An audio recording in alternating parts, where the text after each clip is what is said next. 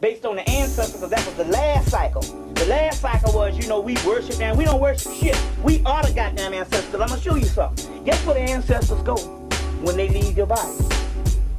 They go and live inside of you. They live inside of you.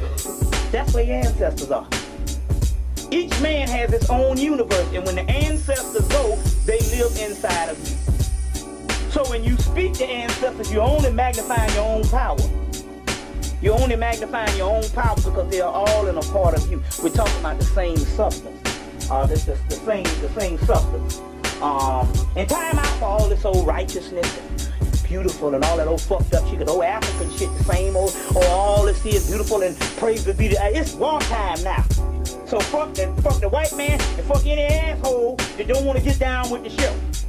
You see, and, and, and I'm only telling you what the Legba told me in the damn Orishas.